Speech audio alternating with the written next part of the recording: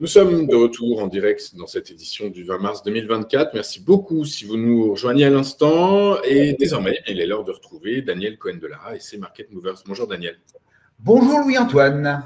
Bonjour Daniel, merci beaucoup d'être avec nous ce matin. Vous êtes président de l'AFAT, l'Association française euh, des analystes techniques, euh, et avec nous pour euh, bah, nous, glisser à l'oreille quelles sont les valeurs qu'il faut avoir ou non en son portefeuille.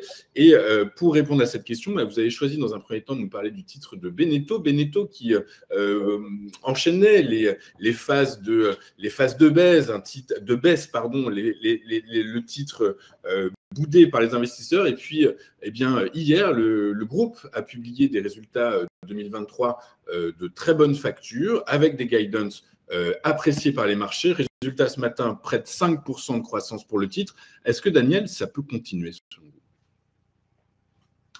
Alors, on est rentré dans un schéma que l'on va voir hein, et je vais vous proposer des objectifs, des objectifs haussiers, bien entendu sur le, sur le titre Beneteau. Alors, Beneteau, c'est quand même un peu une, une depuis euh, pas loin d'un an, hein, pas tout à fait, depuis, euh, depuis 11 mois, eh bien, c'est une tendance euh, baissière avec relativement peu de consolidation entre le mois de, le mois d'avril, mai l'année dernière et le début du mois d'octobre.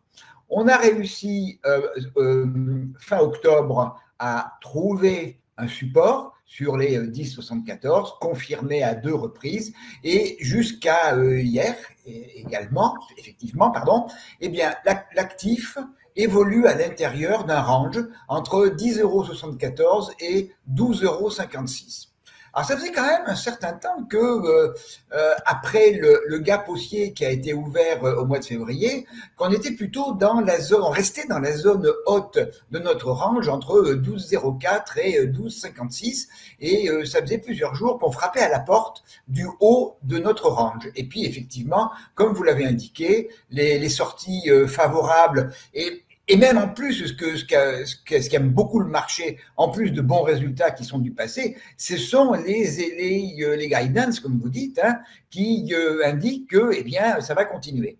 Alors, je pense également euh, que ça va continuer.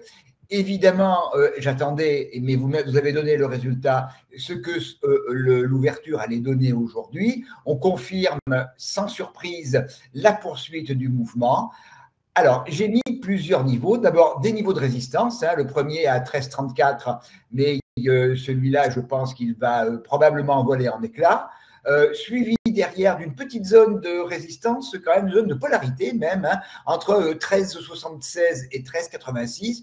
Et le gros niveau que je vise, c'est la zone des 14,36 euros, qui est un, un niveau de polarité, et deux, c'est l'objectif de sortie du range, c'est-à-dire la projection de la hauteur du range au-dessus de celui-ci.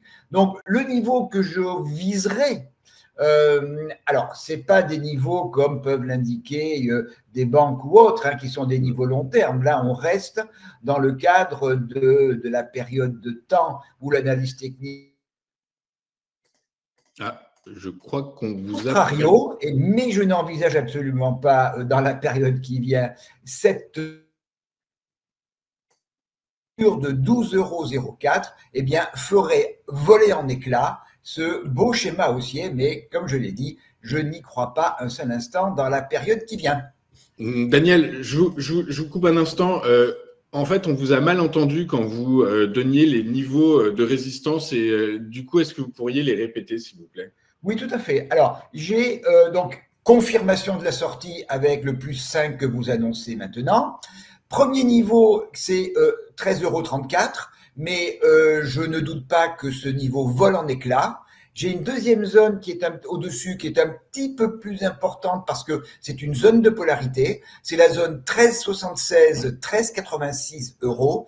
Et mon objectif majeur, c'est 14,36 euros, qui est à la fois un niveau de polarité et l'objectif de sortie du range, c'est-à-dire la projection de la hauteur du range au-dessus de celui-ci. Donc, mon niveau majeur, c'est 14,36 euros.